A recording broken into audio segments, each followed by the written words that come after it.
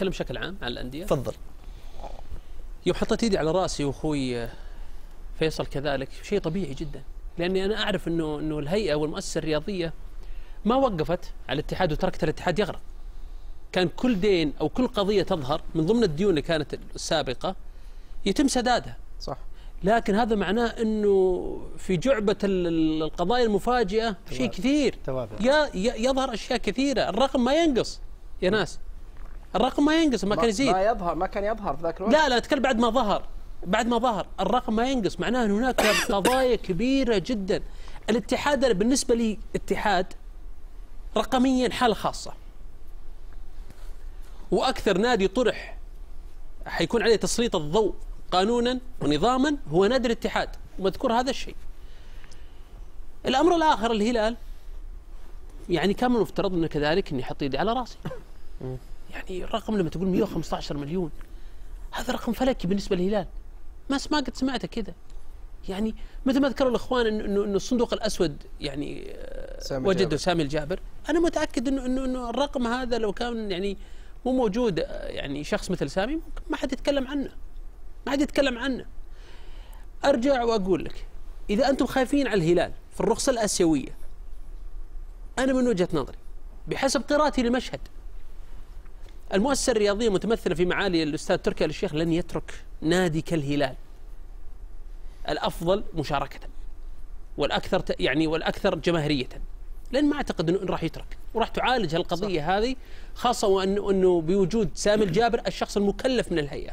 لن يترك الهلال. ولكن على جمهور الهلال وعلى الجميع أن يعي أن هذه الأرقام هي الحقيقية ليست الأرقام المغيبة سواء هلال اتحاد شباب بعد إذنك ثواني بس. شباب أهلي الأهلي كذلك.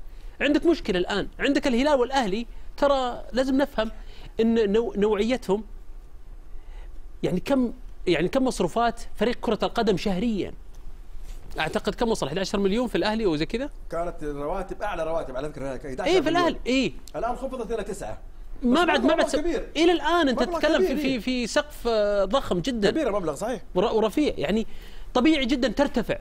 هذه الأرقام بسرعة لأنه لم يكن هناك تخطيط للمستقبل إنه اصرف على قد دخلك. وهذا اللي صار في الشباب ترى قبل فترة قبل تدخل الهيئة الرياضية وذكرت أنا في إحدى البرامج 80 مليون ريال. بعد تدخل الهيئة وسداد 20 قضية أصبح الدين قرابة 60 مليون. وما زلت أقول إن هذا الرقم صعب جدا ولن يتم سداد ولو جزء بسيط منه دون تدخل الهيئة. أتحدث عن الشباب. لكن في نقطة يعني ال- الحسنة الوحيدة في الإحصائية هذه المفجعة واللي يعني محبطة لنا صراحة كرياضيين لأن تتحدث عن مليار يا ناس. إيش كان يصير؟ إيش كان يصير؟ فوضى. كانت فوضى. ما أبغى أتكلم عن كلمة فساد لأني ما أحب أقول كلمة فساد بلساني الا لم يثبت هذا الشيء يعلن عنه رسميا. لكن كانت فوضى.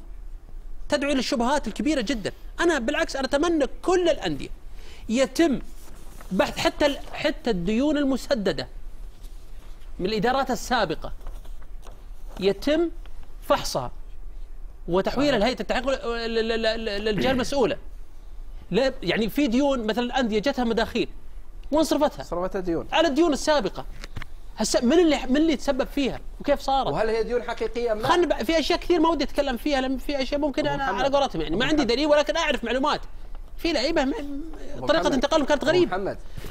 بس بس خلينا خلينا ننصف فريق واحد فقط. خلينا ننصف فريق. الفيصلي.